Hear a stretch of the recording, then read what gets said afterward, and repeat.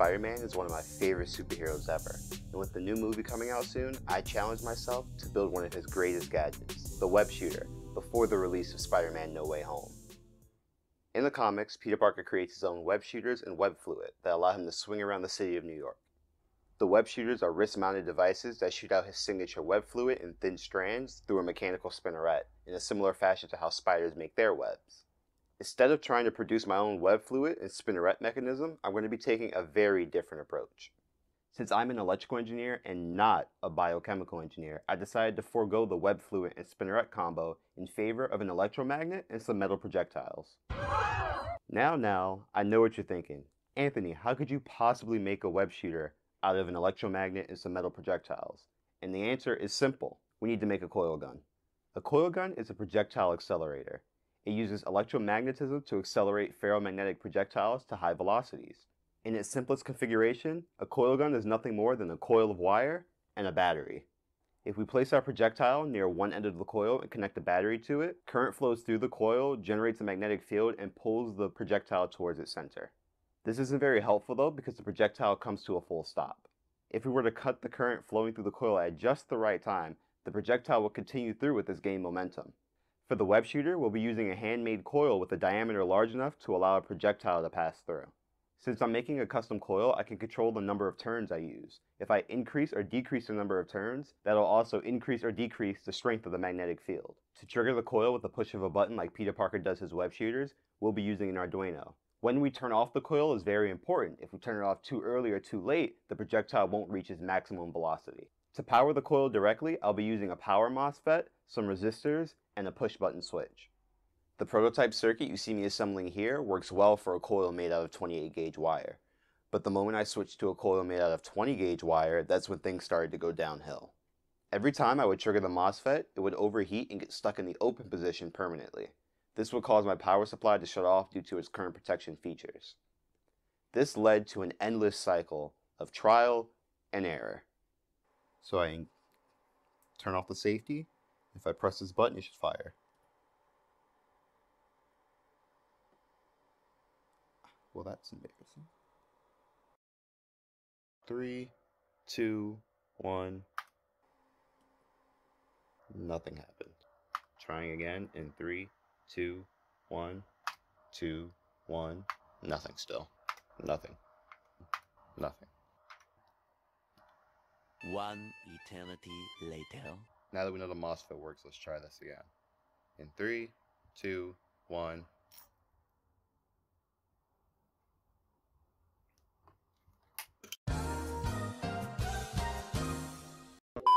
After spending many hours trying to debug the circuit, rebuilding it several times, and burning MOSFET after MOSFET after MOSFET, I finally came up with a circuit design that works about 90% of the time. Unfortunately, it's just not as impressive as I initially thought it would be. With the proof of concept somewhat working, it was then time to put everything together in a nice wearable package. I designed a wrist-mounted holder for the coil and the projectiles. I modeled it after Spider-Man's web shooter from Spider-Man Homecoming. The coil rests in the center of the web shooter, and its wires are routed to a connector that comes out of the bottom of the web shooter. The button for launching the projectile will be mounted to the palm with some elastic. The wires for the button will then be routed to the bottom of the web shooter with another connector. To make things more self-contained and portable, I'm planning on putting the electronics in a separate enclosure that will get mounted somewhere on my forearm or around my waist. There's also supposed to be a LiPo battery mounted to my waist to power the entire thing, but I couldn't get it working with the circuit. More on that later. For safety reasons, I've added a safety switch that prevents the coil from being fired when switched on. To replicate Spider-Man's web fluid, I had to get a bit creative. There's an interlocking cartridge slot on the web shooter that will hold the metal projectile and anything else needed for that particular cartridge. When the cartridge slots into the web shooter, it inserts the tip of the ferromagnetic projectile slightly into the coil, so that when the coil is triggered, it pulls the projectile through correctly. I tested two different cartridges for the web shooter. The first one is meant to replicate Peter Parker's signature webbing. It's basically a length of string attached to one end of the cartridge and another to the projectile, and then that string is wrapped around the length of the inside of the cartridge. The other cartridge houses a bigger projectile with no string. It functions more like the Spider-Man PS4 game's impact webbing. The bigger projectile is meant to impart a greater force when shot from the coil gun. With all the prototyping and design out of the way, it was then time to construct the final circuit, 3D print all the necessary parts, and assemble everything together.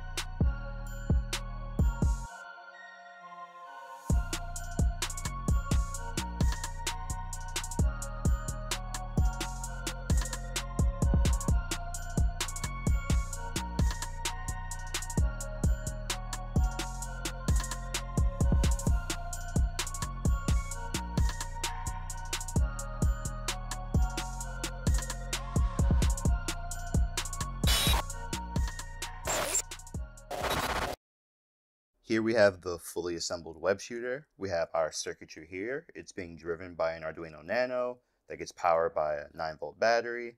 Then we have our MOSFET to drive the coil. We have power coming in from the 24 volt supply right here. And we have a connector for our coil. And this is the connector for the trigger. The way this works is basically when this button is pressed, if the, assuming the safety is engaged or disengaged, it'll either fire the coil or it'll prevent the coil from being fired. Just to demonstrate what it would look like, I added some uh, indicator LEDs. So there's a red power LED that indicates the entire circuit is on, and that green LED is off, which means the circuit is not armed. So if I press this button here, that flashes three times to let you know like, hey, I'm not armed, you can't fire me. If you go ahead and switch it on, now the green LED comes on and lets you know, hey, I'm armed, be careful. When you press the trigger, it'll fire. So I go ahead and press, and then that light starts blinking slowly. What it did was it triggered the coil, it sent the correct signal to the MOSFET, and then it'll continue blinking until the cooldown period is over. I set the cooldown period to about 10 seconds, and that was with the intention of getting the MOSFET to cool down, but also letting the coil cool down in case it heats up. So I'll go ahead and turn the safety off, and for the projectiles, I wasn't able to get the projectiles firing correctly, but I had two different kinds of projectiles. These were going to be the bigger impact projectiles meant to strike something with a lot of force. And then we have these smaller projectiles. These are actually rotary bits for a rotary tool that I had. And inside this cartridge, there's this sort of spool in the inside with the hole in it. So you could put the projectile into the hole, and then the idea is the string will be attached to this, and you could just wrap it around and then slide it back in, screw it closed, and that way when this projectile flies out, it'll start unspooling all of the string as it flies along. And because this is smaller, the idea is that it would fly much further than this bigger projectile. I'm going to show you this being shot, and you'll get a sense of how it works. And I go ahead and insert the projectile again, arm it, and if I fire it, now the projectile flies out. Alright, so we're back. I extended the cables for the web shooter, and I'm going to try wearing it and launch it with the lighter projectile only. So I added some elastic band here on the palm and the wrist, so I go ahead and slide my arm in. And I go ahead and wrap it around my palm. So now you should be able to see in the corner if I click the button. Safety's on so it doesn't fire. So I'm going to try firing this cartridge. So I go ahead and load it.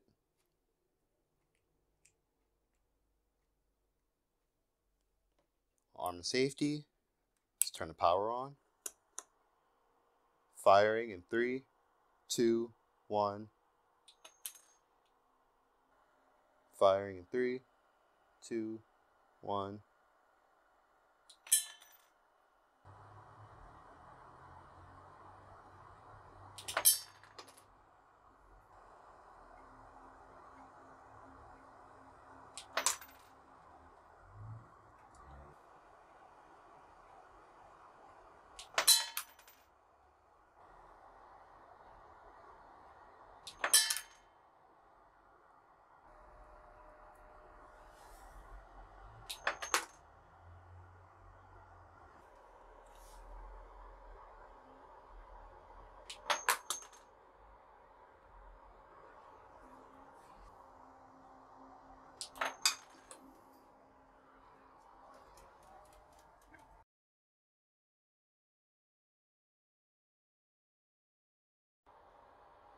All right, I'm gonna try and use my web shooter to pop that white balloon. Firing in three, two, one.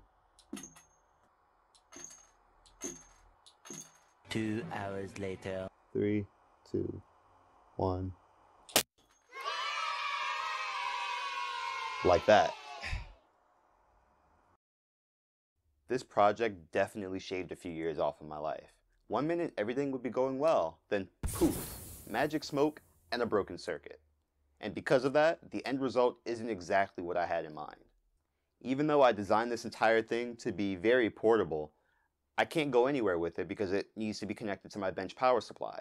I tried getting it working with the LiPo battery, but my circuit couldn't handle the high current that well. Firing in three, two, one.